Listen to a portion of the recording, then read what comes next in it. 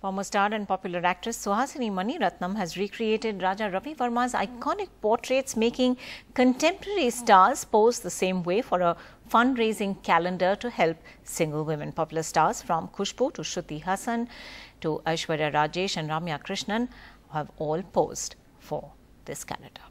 It's a fundraising calendar of a different kind. They've chosen 12 iconic portraits painted by Raja Ravi Varma, and they've now used contemporary and former stars to pose in the same style. Thank you very much, Ms. Suhasini and Venkatram. How did this idea come about?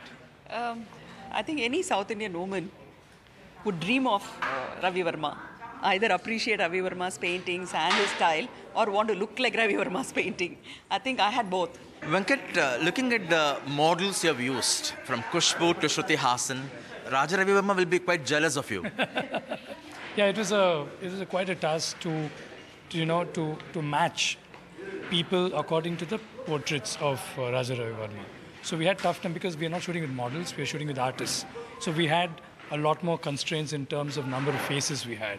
So in spite of that, we kind of put together who would suit what. I also want to ask about the film industry. Did you think about the Me Too movement? People like Chinmayi have raised. As a as an actor, are you concerned about that?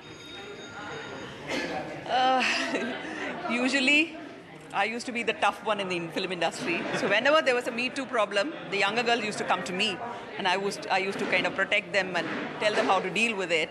Uh, it was more personal, but now I think it's out in the media it's good in a way, but in a way, we don't know if it should go around because, you know, already film industry is looked at as entertainment.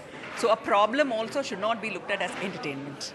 It's a serious issue, but it should not be looked at as entertainment from the other side. She has named Vairamuthu. Should the industry engage with him or should they put in place a system mechanism to probe this? That's a problem between the two of them. They have to sort it out.